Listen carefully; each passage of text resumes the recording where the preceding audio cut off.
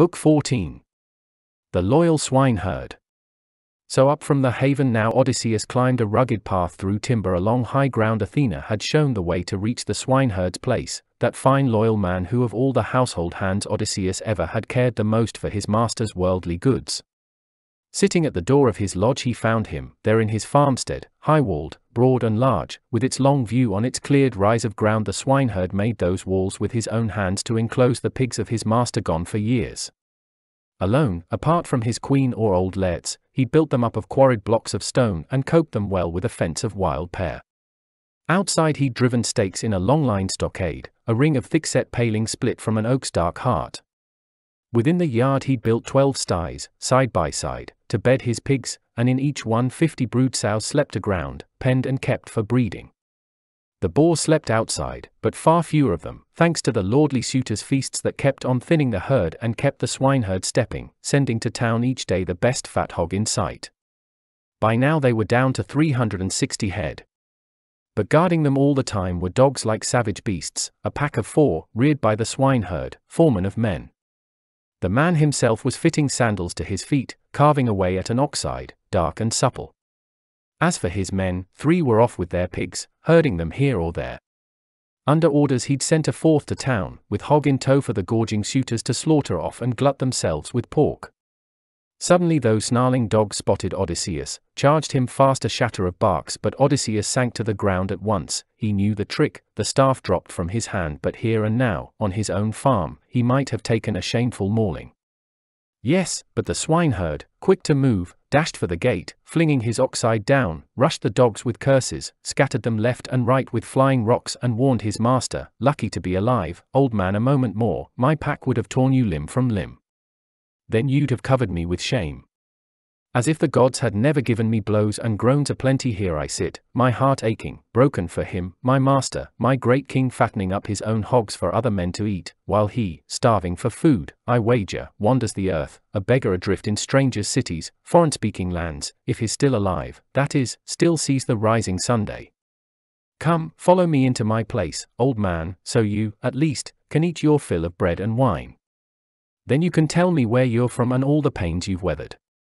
On that note, the loyal swineherd led the way to his shelter, showed his guest inside, and sat Odysseus down on brush and twigs he piled up for the visitor, flinging over these the skin of a shaggy wild goat, broad and soft, the swineherd's own good bedding. The king, delighted to be so well received, thanked the man at once. My host Zeus and the other gods give you your heart's desire for the royal welcome you have shown me here and you replied, Eumaeus, loyal swineherd, it's wrong, my friend, to send any stranger packing even one who arrives in worse shape than you. Every stranger and beggar comes from Zeus and whatever scrap they get from the likes of us, they'll find it welcome. That's the best we can do, we servants, always cowed by our high and mighty masters, especially our young lords, but my old master? The gods, they must have blocked his journey home. He'd have treated me well, he would, with a house, a plot of land, and a wife you'd gladly prize. Goods that a kind lord will give a household hand who labors for him, hard, whose work the gods have sped, just as they speed the work I labor at all day. My master, I tell you, would have repaid me well if he'd grown old right here. But now he's dead if only Helen and all her kind had died out too, brought to her knees, just as she cut the legs from under troops of men. My king among them, he went off to the stallion land of Troy to fight the Trojans, save Agamemnon's honor. Enough he brusquely cinched his belt around his shirt, strode out to the pens, crammed with droves of pigs, picked out two, bundled them in and slaughtered both, singed them, sliced them down, skewered them through and roasting all to a turn, set them before Odysseus, sizzling hot on the spits. Then coating the meat with white barley groats and mixing honeyed wine in a carved wooden bowl, he sat down across from his guest, inviting warmly, Eat up now, my friend. It's all we slaves have got, scrawny pork, while the suitors eat the fatted hogs no fear of the gods in their hard hearts, no mercy. Trust me, the blessed gods have no love for crime. They honor justice, honor the decent acts of men. Even cutthroat bandits who raid foreign parts and Zeus grants them a healthy share of plunder, ships filled to the brim, and back they head for home even their dark hearts are stalked by the dread of vengeance. But the suitors know they've caught some God sent rumor of Master's grisly death. That's why they have no mind to do their courting fairly or go back home in peace. No, at their royal ease they devour all his goods, those brazen rascals never spare a scrap. Not a day or a night goes by, sent down by Zeus, but they butcher victims, never stopping at one or two, and drain his wine as if there's no tomorrow, swilling the last drop. Believe me, my master's wealth was vast. No other prince on earth could match his riches, not on the loamy mainland or here at home in Ithaca. No twenty men in the world could equal his great treasures. Let me count them off for you. A dozen herds of cattle back on the mainland, just as many head of sheep, as many droves of pigs and goat flocks ranging free, hired hands or his own herdsmen keep them grazing there. Here in Ithaca, goat flocks, eleven in all, scatter to graze the island, out at the wild end, and trusty goat herds watch their every move. And each herdsman, day after day, it never ends, drives in a beast for the suitor's best in sight, a sheep or well fed goat. While I tend to these pigs, I guard them, pick the best for those carousers, and send it to the slaughter. His voice rose while the stranger ate his meat and drank his wine, ravenous, bolting it all down in silence, brooding on ways to serve the suitors right. But once he'd supped and refreshed himself with food, he filled the wooden bowl he'd been drinking from, brimmed it with wine, and passed it to his host, who received the offer gladly, spirit cheered as the stranger probed him now with winging words Friend, who was the man who bought you with his goods, the master of such vast riches, powerful as you say? You tell me he died defending Agamemnon's honor? What's his name? I just might know such a man Zeus would know, and the other deathless gods, if I ever saw him, if I bring you any news. I've roamed the whole earth over. And the good swineherd answered, Foreman of men, old friend, no wanderer landing here with news of him is likely to win his wife and dear son over. Random drifters, hungry for bed and board, lie through their teeth and swallow back the truth. Why, any tramp washed up on Ithaca's shore scurries right to my mistress, babbling lies, and she ushers him in, kindly, pressing for details, and the warm tears of grief come trickling down her cheeks, the loyal wife's way when her husband's died abroad. Even you, old codger, could rig up some fine tale, and soon enough, I'd say, if they gave you shirt and clothing for your pains. My master? Well, no doubt the dogs and wheeling birds have ripped the skin from his ribs by now, his life is through, or fish have picked him clean at sea, and the man's bones lie piled up on the mainland, buried deep in sand, he's dead and gone. I, leaving a broken heart for loved ones left behind, for me most of all. Never another master kind as he. I'll never find one no matter where I go, not even if I went back to mother and father, the house where I was born and my parents reared me once. Ah, but much as I grieve for them, much as I long to lay my eyes on them, set foot on the old soil, it's longing for him, him that wrings my heart Odysseus, lost and gone. That man, old friend, far away as he is, I can scarcely bear to say his name aloud, so deeply he loved me, cared for me, so deeply. Worlds away as he is, I call him master, brother, my friend, the great Odysseus, long in exile, answered, Since you are dead certain, since you still insist his never coming back, still the soul of denial, I won't simply say it on my oath, I swear Odysseus is on his way. Reward for such good news? Let me have it the moment he sets foot in his own house, dress me in shirt and cloak, in handsome clothes. Before then, poor as I am, I wouldn't take a thing. I hate that man like the very gates of death who, ground down by poverty, stoops to peddling lies. I swear by Zeus, the first of all the gods, by this table of hospitality here, my host, by Odysseus' hearth where I have come for help, all will come to pass, I swear, exactly as I say. True, this very month, just as the old moon dies and the new moon rises into life, Odysseus will return. He will come home and take revenge on any man who offends his wedded wife and princely son. Good news, you replied, Eumaeus, loyal swineherd, but I will never pay a reward for that, old friend Odysseus, he'll never come home again. Never drink your wine, sit back, let's talk of other things. Don't remind me of all this. The heart inside me breaks when anyone mentions my dear master. That oath of yours, we'll let it pass, Odysseus, oh come back. Just as I wish, I and Penelope, old Laertes too, Telemachus too, the godlike boy. How I grieve for him now, I can't stop Odysseus' son, Telemachus. The gods reared him up like a fine young tree, and I often said, In the ranks of men he'll match his father, his own dear father, amazing in build and looks, that boy. But all of a sudden a god wrecks his sense of balance, god or man, no matter off he's gone to catch some news of his father, down to holy Pylos. And now those gallant suitors lie in wait for him, sailing home, to tear the royal line of Arcesius out of Ithaca, root and branch, good name and all. Enough. Let him pass to whether his trapped or the hand of Zeus will pull him through alive.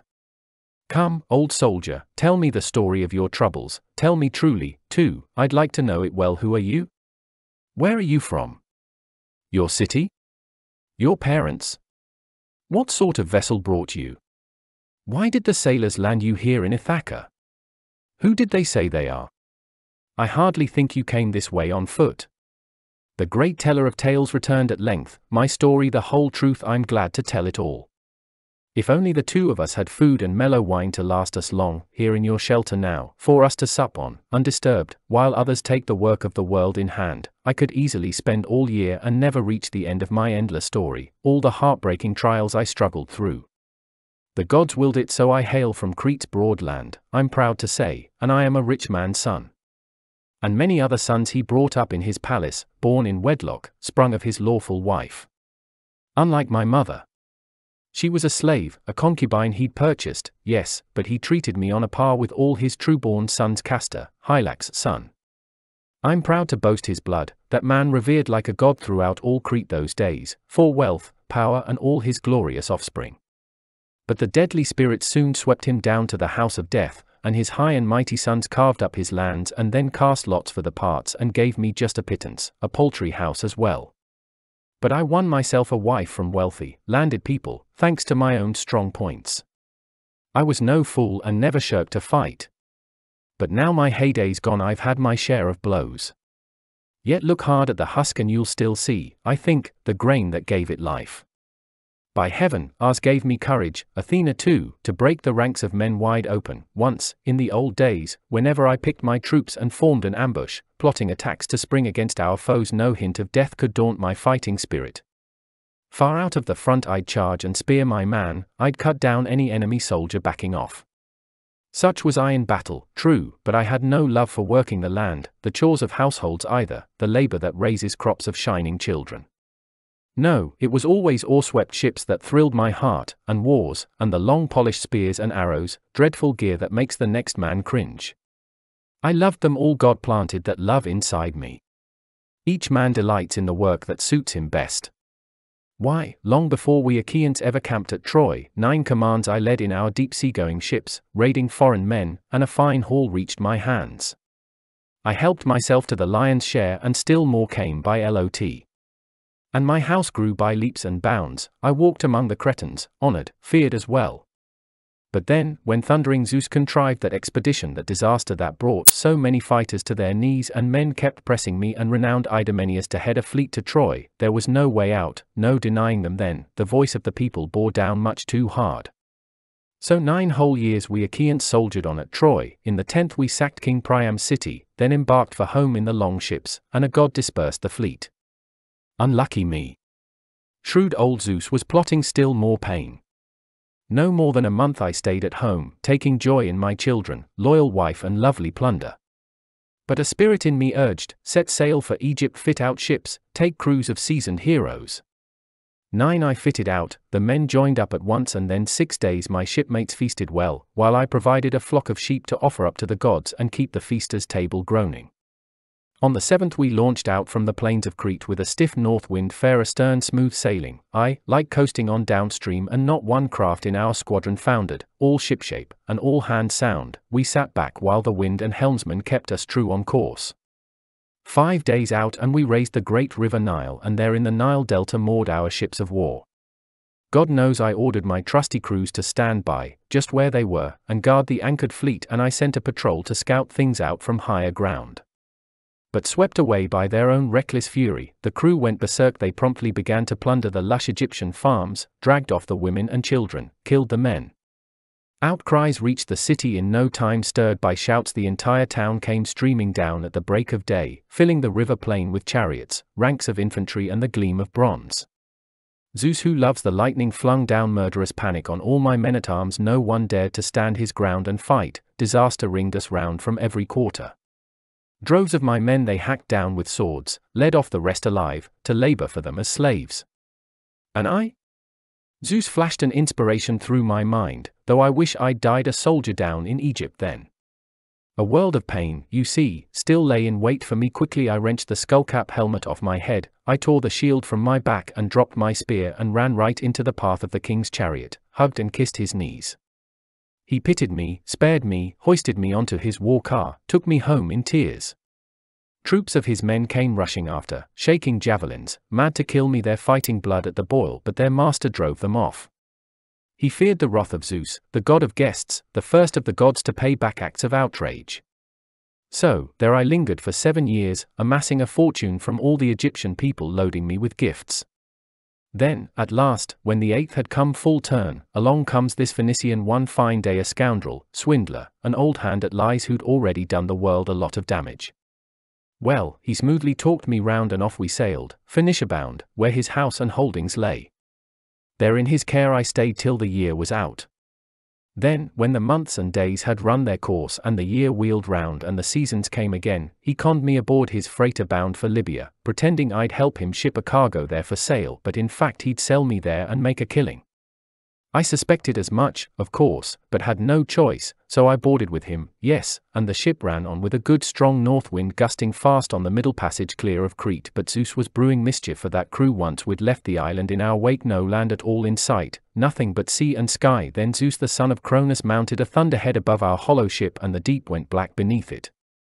Then, then in the same breath Zeus hit the craft with a lightning bolt and thunder. Round she spun, reeling under the impact, filled with reeking brimstone, shipmates pitching out of her, bobbing round like seahawks swept along by the breakers past the trim black hull, and the god cut short their journey home forever. Not mine. Zeus himself, when I was just at the final gasp, thrust the huge mast of my dark prowed vessel right into my arms so I might flee disaster one more time. Wrapping myself around it, I was borne along by the wretched gale winds, rushed along nine days on the tenth, at dead of night, a shouldering breaker rolled me up along Thesprotia's beaches. There the king of Thesprotia, Phaedon, my salvation, treated me kindly, asked for no reward at all. His own good son had found me, half dead from exhaustion and the cold. He raised me up by the hand and led me home to his father's house and dressed me in cloak and shirt and decent clothes. That's where I first got wind of him. Odysseus the king told me he'd hosted the man in style, befriended him on his way home to native land, and showed me all the treasure Odysseus had amassed. Bronze and gold and plenty of hard wrought iron, enough to last a man and ten generations of his heirs, so great the wealth stored up for him in the king's vaults. But Odysseus, he made clear, was off at Dodona then to hear the will of Zeus that rustles forth from the god's tall leafy oak, how should he return, after all the years away, to his own green land of Ithaca openly or in secret? Phaedon swore to me, what's more, as the princely man poured out libations in his house, the ships hauled down and the crew set to sail, to take Odysseus home to native land.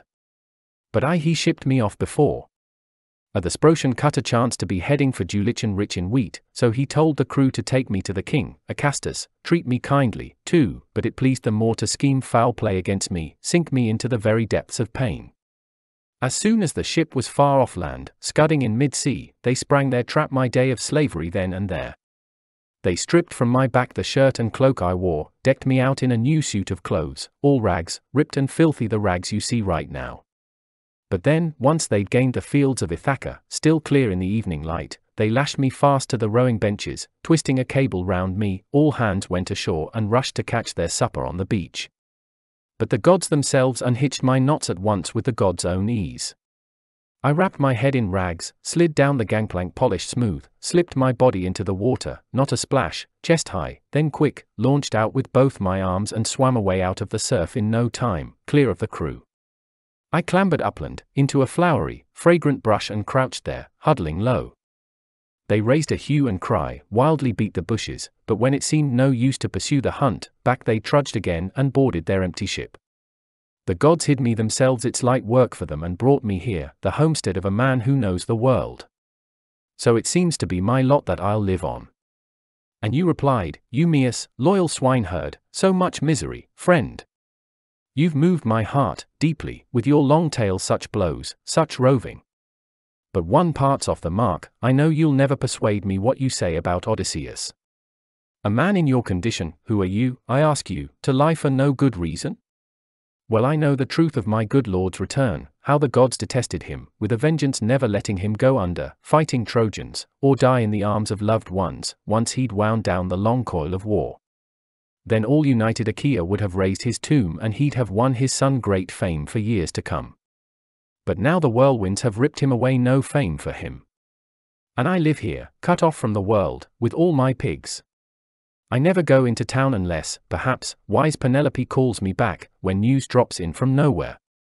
There they crowd the messenger, cross examine him, heartsick for their long lost lord or all too glad to eat him out of house and home, scot free. But I've no love for all that probing, prying, not since some Aetolian fooled me with his yarn. He'd killed a man, wandered over the face of the earth, stumbled onto my hut, and I received him warmly. He told me he'd seen Odysseus lodged with King Idomeneus down in Crete refitting his ships, hard hit by the gales, but he'd be home, he said, by summer or harvest time, his hulls freighted with treasure, manned by fighting crews. So you, old misery, seeing a god has led you here to me, don't try to charm me now, don't spellbind me with lies.